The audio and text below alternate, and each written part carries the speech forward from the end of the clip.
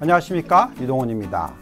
글로벌 투자 이야기 시간입니다. 오늘은 종목을 들여다보는 시간이죠. 제목 보겠습니다. 미국 대형 기술주 추가 보기. 네, 얼마 전에 대표적인 빵 마가 관련된 종목들 몇 개 짚어드렸었는데 오늘 추가로 또 짚어보도록 하겠습니다.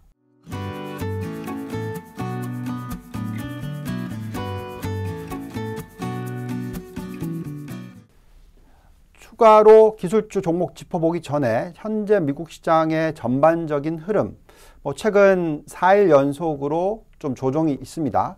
그러다 보니까 음, 미국 시장이 왜 음, 쉬어야 되느냐, 아니면 미국 시장 투자 지금 어려운 게 아니냐, 뭐 이런 질문들을 하십니다. 그래서 어, 관련해서 지금 약간 타이밍상으로 좀 버겁다라는 얘기를 해드리고 계속 말씀을 드렸습니다만 음, 10월 말, 11월 초까지 분할 매수 전략이 적절하다라고 말씀을 드렸죠. 그리고 미국을 전체 포트폴리오의 최소한 60% 이상은 깔고 가는 전략을 말씀을 드리고 있고 만약에 미국 비중이 전혀 없으시다면 지금부터 음 10월 말까지 약 두 달간의 기간 동안에 저가 분할 매수 뭐 예를 들어서 오늘 같이 어저께 같이 이렇게 빠지는 날 전체의 뭐 금액 예를 들어서 100을 투자하겠다고 예상을 했다면 그 중에 10분의 1씩 어, 투자를 하는 그런 전략이 적절하다. 그러니까 빠지는 날에 적절하게 분산 투자를 하시는 게 중요할 것 같습니다.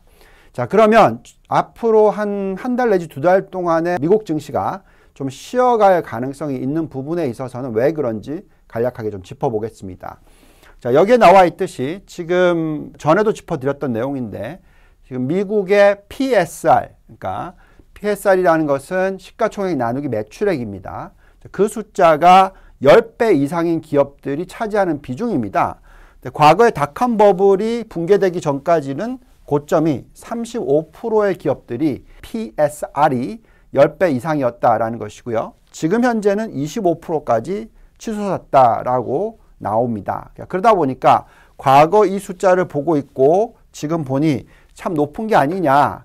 그래서 앞으로 어떤 어, 조정이 있지 않을까 이런 걱정들을 하십니다만 어, 제가 전에도 말씀을 드렸습니다만 이때는 사실 ROE가 큰 폭으로 하락을 해서 거의 10%대까지 폭락을 한 상황이었고요. 여기는 지금 ROE가 계속 올라가서 25%대까지 상승을 하고 있는 추세입니다.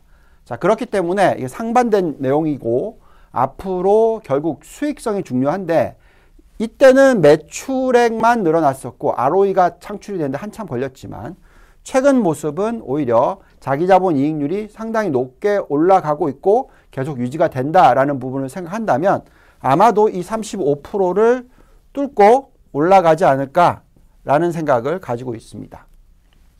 자, 버핏 지수도 마찬가지로 전에 닷컴 버블이 일어났었을 때 150% 수준이었다면 GDP 대비해서 시가총액이 여기 보시면 207%를 돌파를 했다. 상당히 높은 숫자이기 때문에 또 다들 걱정들을 하십니다만 어, 이 GDP로 보는 것보다는 저희가 항상 얘기했지만 시총 나누기 M2로서 계산하는 게 더 적절하다라고 말씀을 드려오고 있습니다.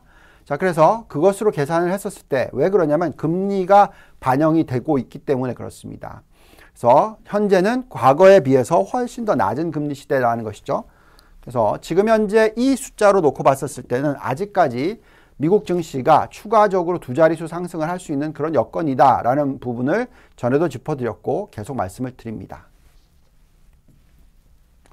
자, 그런데 어느 정도 한 두 달 정도의 어떤 좀 쉬어가는 장세가 나올 수 있다라고 얘기하는 부분은 여기에 나와 있는 이 배당 수익률이 1.3% 수준밖에 되지 않고 지금 국채의 금리가 10년짜리가 1.33%니까 뭐 거의 비슷한 수준이죠.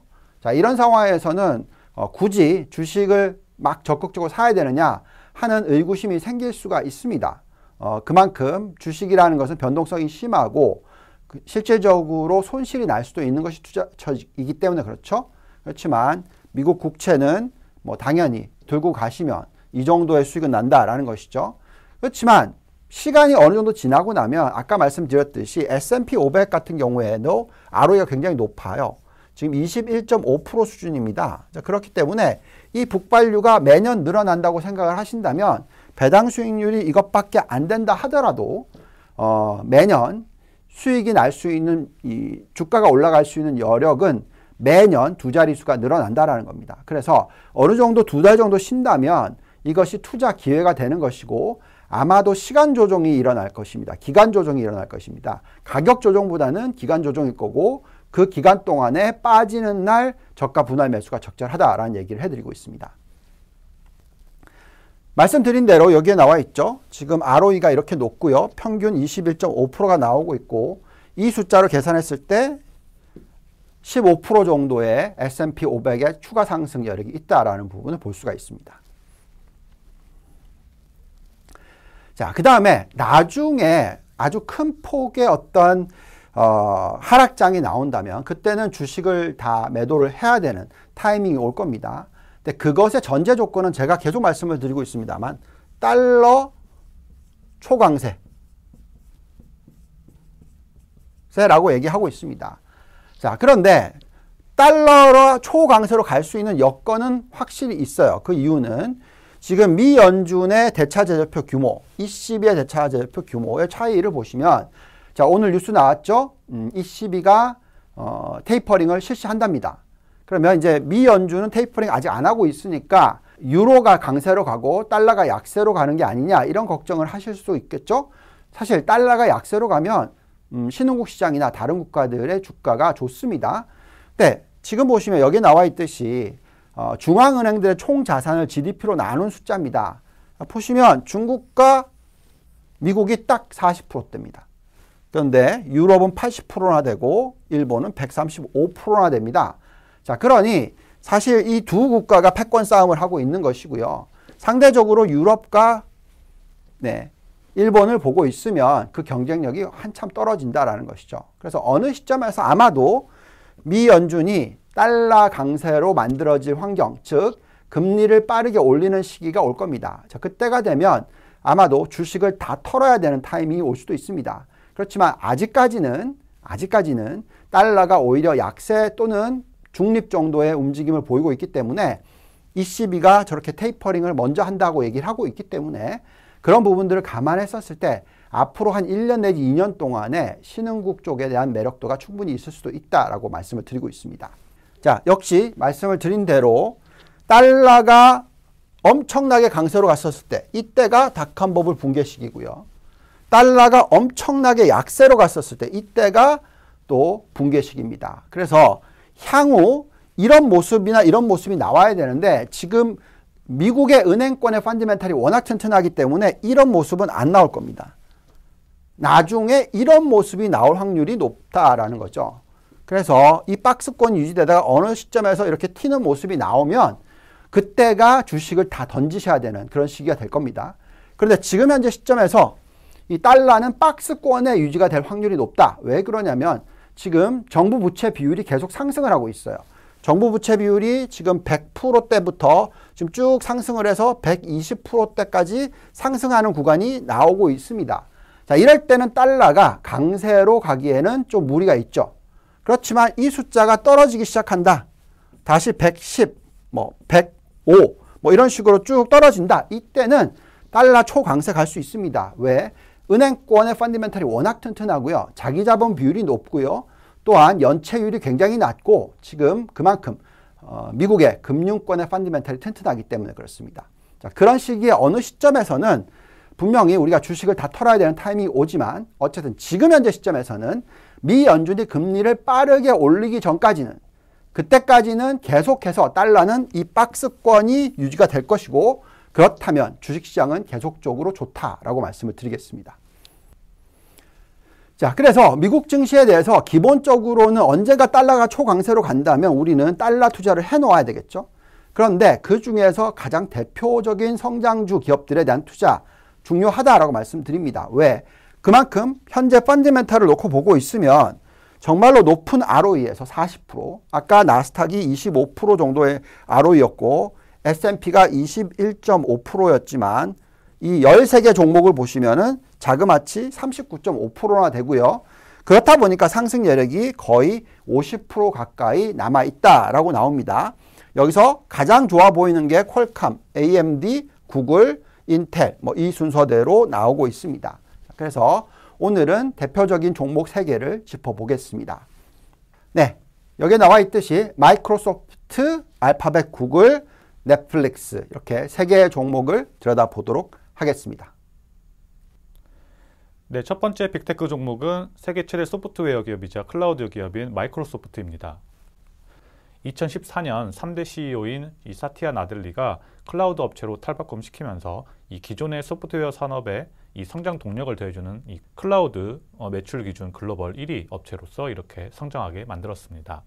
사업부는 이 지능형 클라우드, 퍼스널 컴퓨팅, 그리고 생산성과 비즈니스 프로세스가 있고 최근 서버와 이 서피스 PC용 칩을 개발하면서 경쟁사들과 자체 칩 경쟁에도 박차를 가하고 있는 상태입니다. 먼저 이 회계년도 2021년 4분기, 즉 2021년 4월에서 6월 달의 분기 매출을 보시면 매출은 462억 달러로 전년 대비 21%, 그리고 EPS는 2.17달러로 전년 대비 50%, 예측치 대비 13% 상회를 하면서 최대 분기 실적을 달성했습니다. 또한 다음 분기 매출 가이던스를 이 컨센서스인 428억 달러를 넘어선 438억 달러를 제시를 하면서 계속해서 좋은 성적을 기록할 것이다라고 전망했습니다. 네, 첫 번째 투자 포인트는 이 4차 산업혁명의 필수적인 클라우드 산업의 성장성입니다. 클라우드 시장에서 이 동사가 아마존보다 더 큰 부분에서 의아해 하실 수도 있지만 2021년 2분기에 이 클라우드 시장에서의 동사는 단순한 이 IaaS 시장이 아닌 이 IaaS를 포함한 PaaS 그리고 SaaS 부문 모두를 더한 매출이 195억 달러를 달하면서 클라우드 시장 1위를 달성하고 있는 그런 모습을 보이고 있습니다. 팬데믹으로 디지털 전환이 가속화되고 있고 이에 따라서 기업들의 이 클라우드 비용 지출 비용이 계속해서 커지고 있습니다. 보시는 표와 같이 이 글로벌 퍼블릭 클라우드 서비스의 지출은 모든 클라우드 산업 부분에 있어서 2020에서 2021년에는 26%, 그리고 내년에는 22%더 상승할 것이다라고 그렇게 전망이 되고 있고 이러한 현상은 더욱더 커져서 전체 기업의 IT 지출 비용 중 클라우드 비중은 지금 현재 17% 정도로 나와 있는데 2026년에는 45%까지 지출이 늘어날 것이다라고 그렇게 전망이 되고 있습니다. 또한 이 5G 상용화가 가속화되면서 클라우드 역할이 강화될 전망입니다. 에릭슨에 따르면 이 글로벌 5G 가입자는 2020년 2.2억 명에서 2026년에는 이 35억 명으로 거의 12배가량 증가할 것이다라고 그렇게 전망을 하고 있습니다. 네. 동사의 클라우드는 전 사업 부문에 있어서 골고루 분포되어 있고 이번 분기에 그래서 이 상업용 클라우드 전체의 실적은 195억 달러를 기록을 하면서 전체 매출의 42%를 차지하면서 계속해서 전체 매출 비중과 그리고 gross margin이 우상향하는 그런 모습을 보이고 있습니다. 세부 사업부별 매출 비중을 보시면 서버 제품 및 클라우드 서비스와 이 오피스 제품 및 클라우드 서비스 이 두 가지 사업부가 전체 매출의 55% 가까이 그렇게 성장을 하는 모습으로서 절반 이상을 차지하고 있습니다. 동사의 클라우드 서비스가 경쟁사인 아마존과 가장 큰 차이를 부분은 바로 이 하이브리드 클라우드 서비스입니다. 먼저 이 하이브리드 클라우드란 private 클라우드와 이 public 클라우드와의 결합을 하여서 데이터와 어플리케이션을 공유하는 그런 computing 환경을 뜻합니다. 그래서 이 하이브리드 클라우드의 장점은 크게 두 가지로서 첫 번째 이 computing 및 처리 요구가 private 클라우드 역량을 초과하는 경우에 기업은 이 과도한 용량을 처리하기 위해 클라우드를 사용하여 용량을 신속하게 scale up 또는 scale down 할 수 있는 그런 부분이 가능합니다. 두 번째, 이 항상 필요하지 않을 수 있는 새 서버를 구매, 설치, 유지 관리하는 시간과 비용을 들이지 않을 수 있다는 점이 있습니다. 이러한 하이브리드 클라우드 서비스를 이 지금 현재 포춘 500대 기업 중 95%가 동사의 애저를 사용하고 있고요. AWS보다 5배 저렴한 이 윈도우 그리고 SQL 서버 비용 효율성을 제공을 하고 AWS보다 우위에 있는 그런 모습을 보이고 있습니다. 이러한 동사의 강점인 이 하이브리드 클라우드 서비스를 강화하기 위해서 사이버 보안 부분도 지속해서 강화하고 있습니다. 2015년부터 매년 사이버 보안에 10억 달러 규모를 투자를 하고 있고요. 이번 분기에 이미 3개의 관련 기업을 인수를 하면서 5.5억 달러를 지출한 모습입니다. 또한 이 바이든 정부의 사이버 보안 강화 협력 요청에 있어서 동사는 향후 5년간 200억 달러를 투자를 하겠다고 발표를 하면서 이 클라우드 기업으로서의 핵심 기술력을 지속 강화할 예정입니다. 네, 두 번째 투자 포인트는 바로 동사의 든든한 cash cow가 되는 바로 구독 서비스 모델입니다. 동사의 대표적인 구독 서비스인 이 오피스 365, 마이크로소프트 365, 그리고 윈도우 365의 차이점을 보시는 것과 같이 마이크로소프트 365가 이 오피스 365의 새 버전입니다. 그리고 이 윈도우 365는 이 구독형 OS로서 클라우드에서 동작하는 OS 서비스입니다. 현재 이 마이크로소프트 365 구독자는 519만 명으로서 계속해서 증가하고 있는데 전년 대비 22% 그리고 전분기 대비 3% 성장한 모습입니다. 최근 발표했던 이 오피스 365의 가격 인상을 10년 만에 발표를 했는데 내년부터 이 가정용은 10에서 20% 그리고 기업용은 8에서 25% 인상한다고 발표했습니다. 또한 이 윈도우 365는 8월 2일에 이 기업을 대상으로 판매를 시작했습니다. 글로벌 OS 점유율 73%의 압도적 영향력과 동사가 언급한 이 제한적인 추가 비용 등으로 인해서 고객들의 저항이나 그리고 이탈이 낮을 것으로 전망이 됩니다. 네, 마지막 투자 포인트는 클라우드 gaming 시장을 신성장 사업으로서 강화시키는 동사의 모습입니다. 예, 사티아 나델라 CEO는 지난 6월 달에 MS는 이 게임에 올인하는 회사라고 그렇게 게임 사업의 로드맵을 공개했습니다. 게임 사업을 최우선으로 하는 이유는 바로 이 시장의 성장성, 기존 사업과의 시너지 효과, 소비자 데이터 확보, 그리고 B2C 서비스 강화로 인해서 소비자 포트폴리오를 강화시킬 수 있기 때문입니다. 동사의 gaming 서비스 매출은 2021년 한 해 동안 154억 달러를 기록을 하면서 전년 대비 33% 이렇게 증가를 한 모습입니다. 그러나 이 전체 매출의 9.1%의 비중으로서 더 큰 성장을 기대해 볼 수 있는 그런 상황입니다. 네, 동영상 트래픽 관리 업체 오픈웨이브 모빌리티는 2022년까지 클라우드 게임이 아마 5G 데이터 트래픽의 25%에서 50%를 차지할 것으로 전망을 하고 있다라고 밝혔습니다. 2021년 반기 동안 이 글로벌 게임 소비 지출은 전년 대비 24% 그리고 팬데믹 전인 2019년 대비해서는 40% 증가를 했고 그중 모바일 gaming 시장이 가장 크게 성장을 하는 그런 모습을 보였습니다. 어, 이번 반기에만 벌써 1,200억 달러가 지출이 되었고 한 주로 계산 시에는 17억 달러가 소비가 되었다라고 나왔습니다. 나라별로 보시면 gaming 시장 top 10 국가는 2025년까지 평균 이렇게 40% 이상 성장할 것으로 전망이 되고 있습니다. 네, 동사의 사업별 매출 비중은 지능형 클라우드가 38%, 생산성 및 비즈니스 프로세스가 32%, personal computing이 30%로 고루 포진되어 있는 상태입니다. 2022년 매출은 전년 대비 13% 이상 상승할 것으로 전망됩니다. 네, 이러한 동사는 컨센서스 ROE 47.3%, 리스크 프리미엄 5%를 적용 시 34.9%의 상승 여력을 보유하고 있습니다.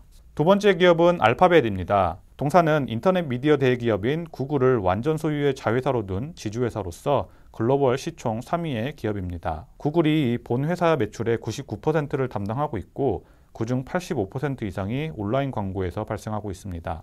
이외에도 구글 플레이 및 유튜브를 통한 이 앱 및 콘텐츠를 판매하고 클라우드 서비스 수수료와 기타 라이센스로부터의 수익이 발생하고 있습니다. 네, Bets라고 하는 사업부는 다양한 신사업에도 참여하고 있는 상태입니다. 알파벳의 주식은 클래스 A, ticker명 GOOGL, 그리고 클래스 C, GOOG로 거래가 되고 있고요. 클래스 A는 의결권이 있고 클래스 C는 무의결권의 주식입니다. 최근 이 모바일 AP 및 데이터 센터용 자체 칩을 개발을 하고 있어서 Big Tech 기업들의 자체 칩 개발 대열에 합류를 한 상태입니다. 주가가 연초 대비 64% 상승을 하면서 Big 5 중 가장 압도적으로 상승을 한 모습입니다. 먼저 이 최근 2분기 실적을 보시면 매출은 619억 달러로 전년 대비 62%, 예측치 대비 10% 상회를 했고 영업이익도 194억 달러로 전년 대비 203%, 예측치를 6% 이상 상회하는 모습을 보였습니다. 사업별 매출이 모두 두 자릿수의 성장을 이루었는데 검색 부문이 전년 대비 68%, 네트워크 60%, 유튜브 광고 84%, 클라우드 54%등 모두 두 자릿수 이상 크게 상승한 모습입니다. 고정비 비중이 높은 이 소프트 회사 특성으로 매출 상승에 따라 영업 레버리지 효과로 인해서 영업이익 또한 사상 최고 수준을 기록을 했습니다. 첫 번째 투자 포인트는 바로 딥러닝 기술력의 경쟁력 우위를 지속하는 동사의 모습입니다. 네, 딥러닝의 창시자인 제프리 힌튼의 경우 지금 현재 구글의 캠퍼스 연구원으로서 계속해서 딥러닝의 진화에 앞장서고 있으며 지난 5월에는 이 기존의 딥러닝 이론을 능가하는 이 새로운 개념을 연구한다라고 밝혔습니다.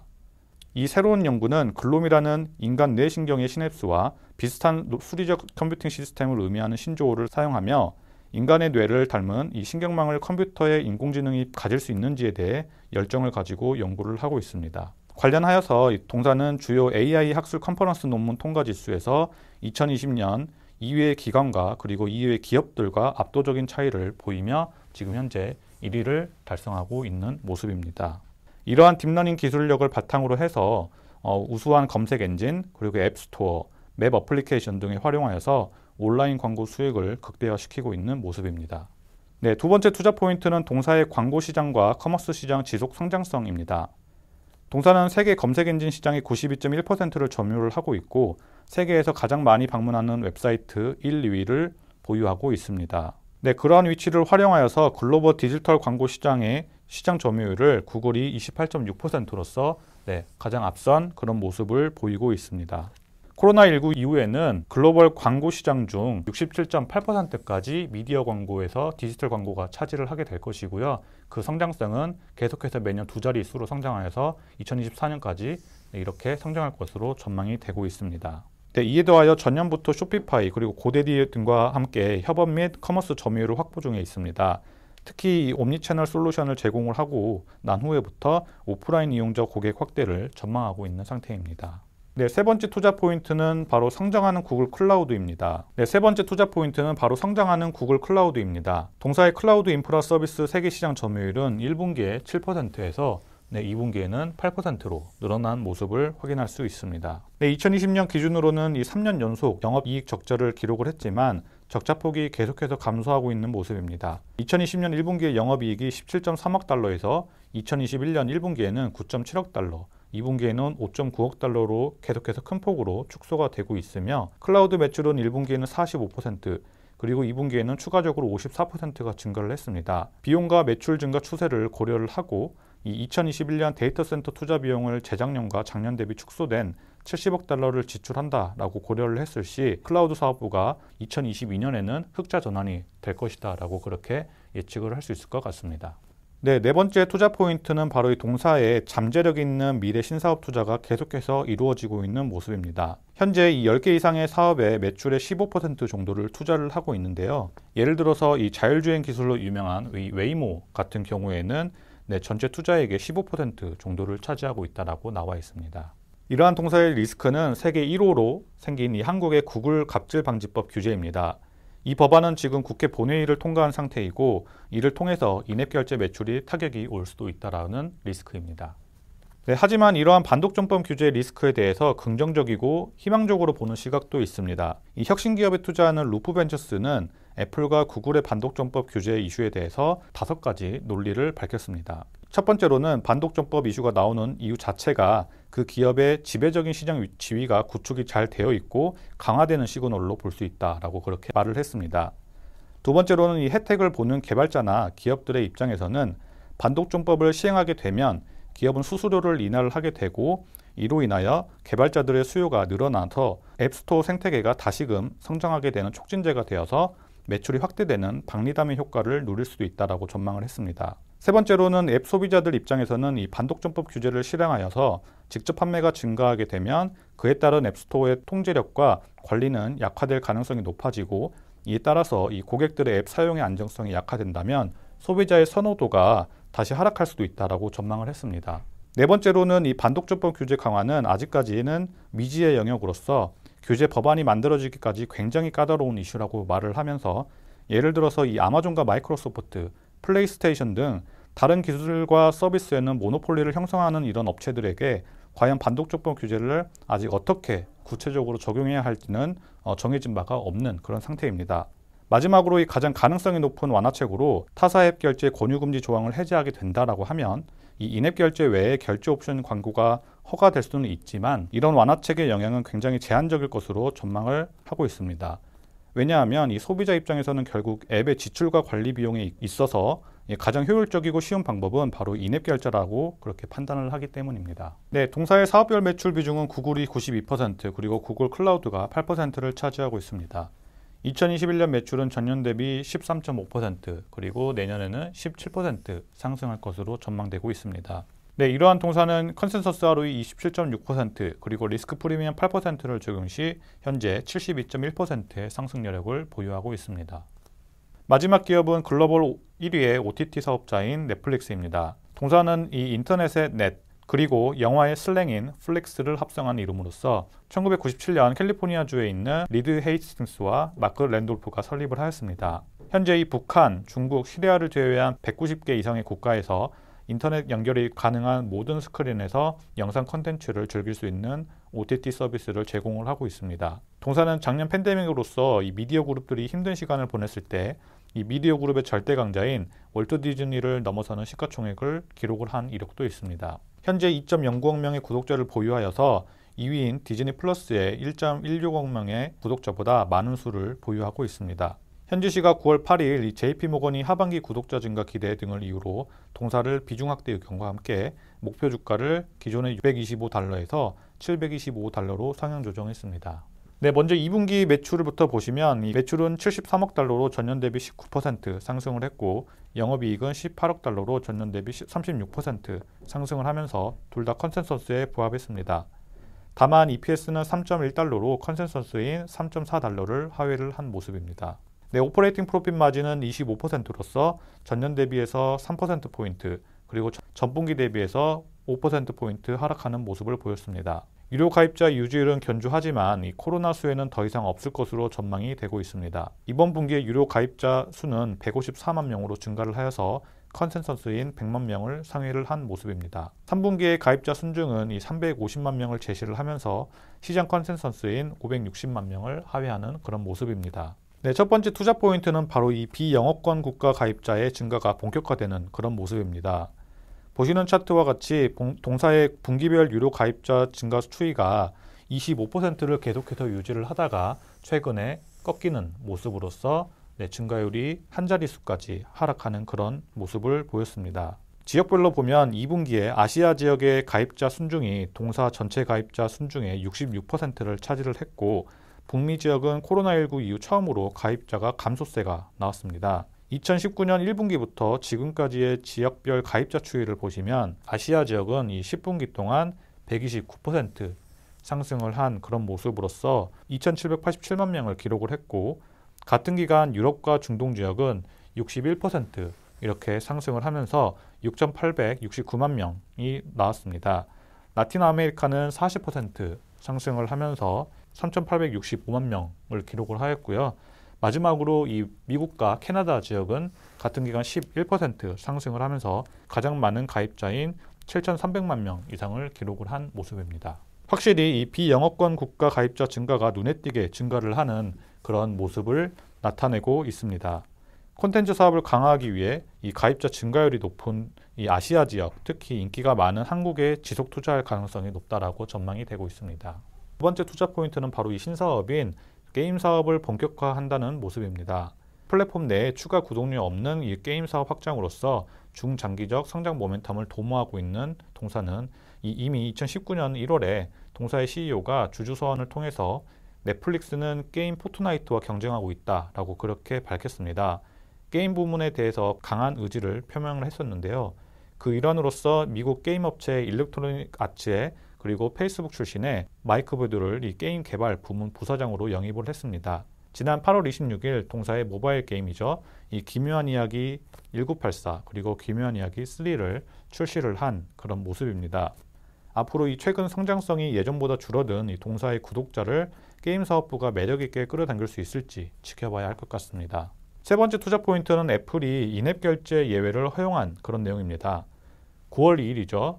이 애플은 넷플릭스를 비롯한 이 리더 앱들에 대해서 어, 외부 결제 링크를 허용한다라고 그렇게 결정을 했고 아마 내년 초에 적용하기로 그렇게 발표를 했습니다. 그동안 이 동사는 인앱 결제 수수료를 피하기 위해서 서비스 가입이라든지 요금 결제, 계정 관리 등을 자사 웹사이트에서만 가능하게 했습니다. 그런데 이번에 정책 변경으로 인해서 자사 웹사이트로 연결되는 이 결제 링크를 이 앱에서 바로 안내하는 것이 가능하기 때문에 유저들이 보다 쉽게 접근 가능하여서 수혜를 입을 것으로 전망이 되고 있습니다. 네, 마지막 투자 포인트는 바로 이 하반기부터 코로나19 여파로 촬영과 공개가 늦어졌던 기대작들이 차례로 공개되어서 신규 구독자 유치와 구독 이탈을 방지할 것으로 전망이 된다는 점입니다. 9월 3일부터 이 종이의 집 시즌 5 그리고 케이트, 너의 모든 것 시즌 3 등등이 차례로 공개되어서 상반기 대비 흥행이 검증된 이 후속작과 대작들로 오리지널 콘텐츠 라인업이 풍성해질 그런 전망입니다.